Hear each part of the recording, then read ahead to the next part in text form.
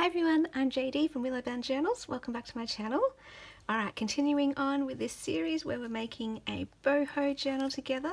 We are at the stage now of adding our pockets and I'll show you how I lay them out. So this is my template one, the journal that I already made so I can follow along. And all I've done is I've gone through this journal, cut out all of the pockets from the kits. So the boho kit and the French vintage French envelopes kit. I've gone out and cut the pockets already so you can see that's the same pocket as that one there. And all I do I'm going to just show you different ways that I lay out the pockets and cut them. So for example this one I'm just going to cut here. So I don't really measure anything um, I just look at the picture itself and go where do I want to keep the picture? And I want to cut that bit off because I want to have that as the focal image there. So there's my first pocket. And some people will want to use paper clips just to paper clip, clip them in place. I don't bother with that but if you want to you definitely can if it's easier. But I just lay it there and turn the page. So then we go to the next page and I can see that this is our next pocket. I've already pre-cut it here we go. But what I've done I've only cut it out as it is in the kit and I'll show you how I then cut them out to fit the page. So I wanted to make them bigger rather than smaller so that if you have a big journal you've still got a full-size pocket hopefully but you can always cut it down if you want. You can't well you, you can make it bigger I suppose if you resize it yourself. So all I want to do is cut off the top there just that little top edge like that so you can see now that fits there as a pocket. So that is now a side pocket. Now what I want to do is balance out these pockets. So I'm going to have some pockets that are bottom pockets some that are top and some that are side so that it's not too bottom heavy and all the pockets are all down here so that it's really thick at the bottom. I want to balance out these pockets so that it's a nice even thickness all along the journal. So I'll know to sew that one later hang on a second. Let's not get ahead of ourselves. We're up to here. So we have our first vintage French envelope. Now I think I made a mistake when I was talking about the materials. I can't remember that far back when I filmed that video but I do print these out twice. Once on the thicker 200 GSM paper if it's going to be um, journal cards. But if I'm going to use it as a pocket I just print it on 8 Oh my goodness, I'm so sorry. I got a phone call and so it cut off the film video, so I'm not sure where I got up to. Um, if I repeat myself, I'm sorry. If I cut something out, I'm sorry. But yeah, I was just talking about how um, I'm cutting out the vintage French envelopes, 80 GSM if I'm making a pocket, um, 20 GSM I printed out on 20, 200 GSM, sorry, paper, so it's heavier if I'm making um, a journal card or tag. So I just cut down this edge so that will fit here.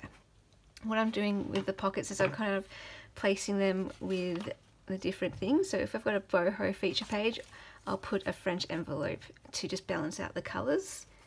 So we've got some neutrals along with the um, colour.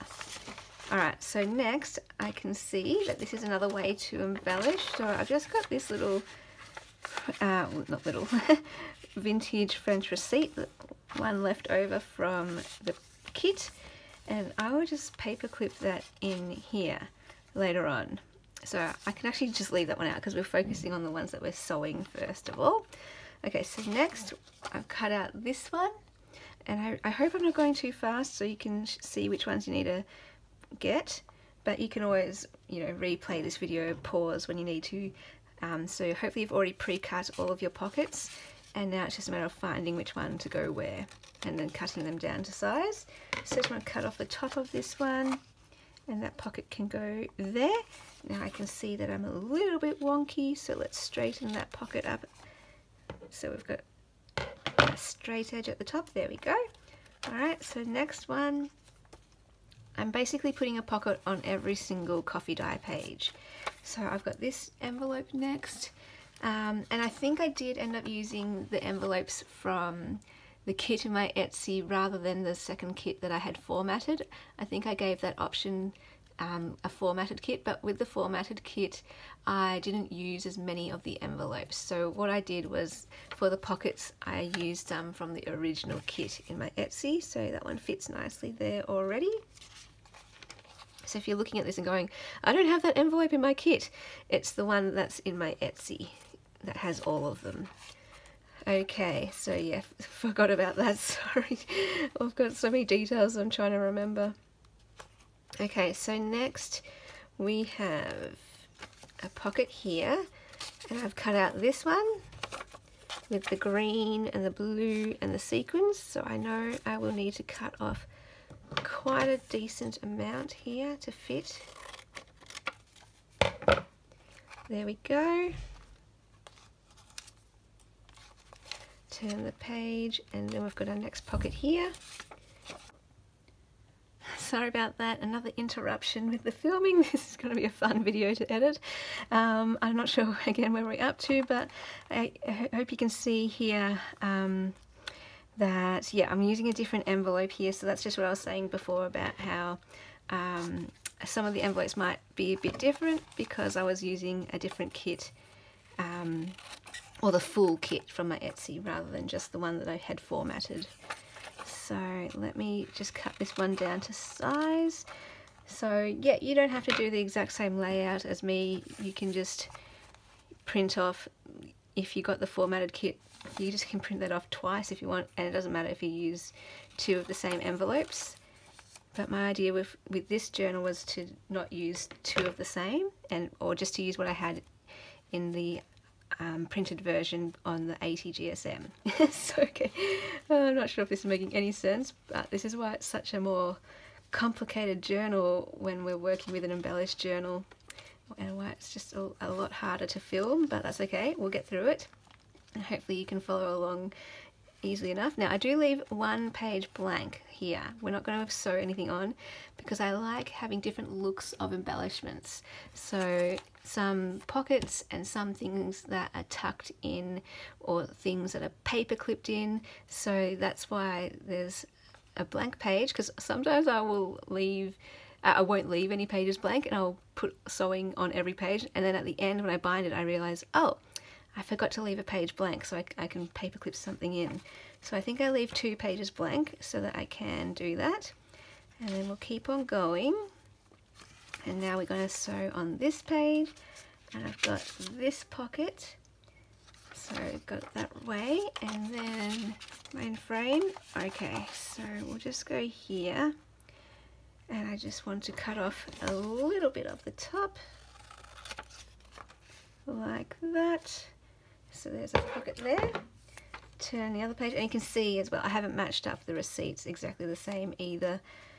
Um, every journal is unique, um, never quite the same.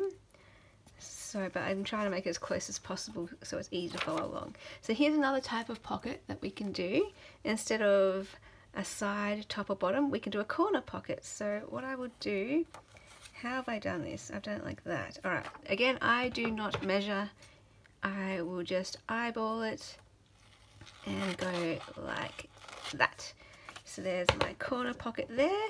And then what I want to do is balance that out. So if I have a pocket at the bottom on one side, I try to put the pocket um, the opposite on the other side so that it's not too bottom or top heavy. So here we go. I'll just get my corner pocket cut here like that. There we go. All right, so let's keep going to the other side. Now, I actually have um, a flap fold here, which I didn't have in the original. So I can either cut that off or maybe I can do like a secret pocket underneath. Let's do that, just for something a little bit more tricky.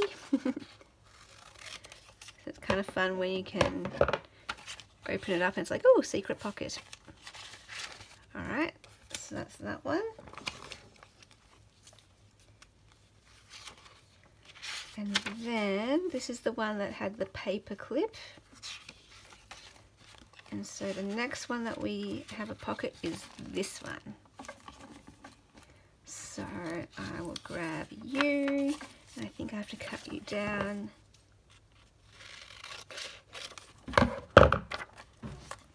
Whoop, it's a very large envelope so cut that down even more go. Alright keep on going.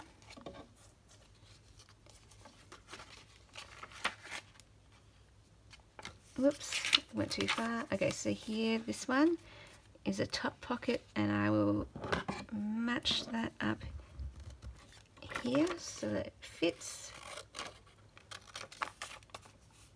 There we go. Next okay so we've got a bottom pocket next And I'll just trim that down a little bit. So there we go. Next we have a side pocket. So hopefully you've been able to see that I haven't put two top pockets next to each other. When you flip the page and get to the next pocket, it's always a different look. Corner pocket, top pocket, bottom pocket, side pocket. and we've got a side pocket here and I will just trim off the top as well. Doesn't matter if you trim too far, you can see that I probably trimmed that uh, a bit more than I was planning to, but that's okay. It's still a side pocket. And then, oh, this is one where we've got some stuff paper clipped. But then we have this one here and we'll place, hang on a second, where am I up to? Just here, okay. So we'll cut that down.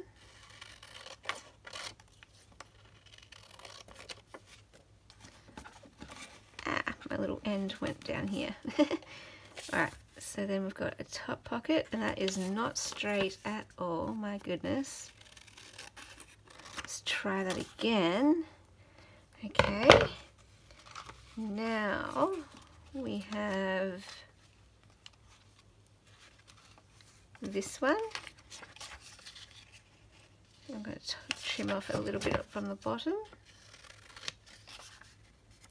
There we go. And one last pocket. Whoops. On this side. So it's this one here. And I've gone for symmetry. This is my favourite piece in the kit because of those jewels. So I put one at the front and one at the back to end it with my favourites. So I will just cut off about here.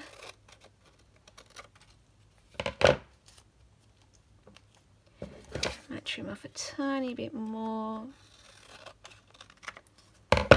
Okay, like that.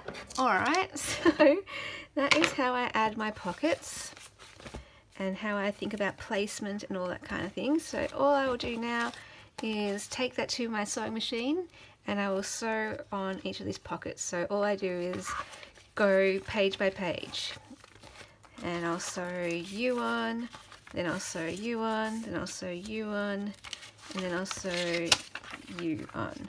And then I will put back in and then I will keep on going and I will take you out and then I will sew. Do do do. Do do do. And so yeah it is a bit finicky. You got to make sure everything's in the same order. Remember where you place them and again I'll just remove this take this one out put this one back put this one in keep on going page by page like that so yeah, um, I will do that off camera. I wish I would be I could film my sewing, but I don't have the setup to be able to film the sewing machine. All you'll see is just the top of it. um, so when you come when I come back, what you will see is all of everything sewn in, and then what we'll do is bind the journal, and then I will show how I add ephemera, and I'll show how I cut these into um, well not those ones, those ones are already cut, how I cut these into either journal cards or tags and we'll go through that process, paper clip things in and yeah hopefully it's easy to follow. I'm so sorry if it isn't.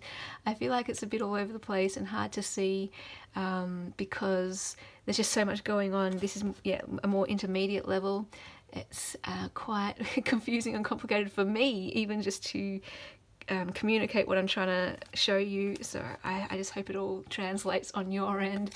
But if you have any questions just um, comment below. Happy to help out um, and hope you are happy with the journal that you make. Thanks guys for watching. I'll see you in the next video. Bye guys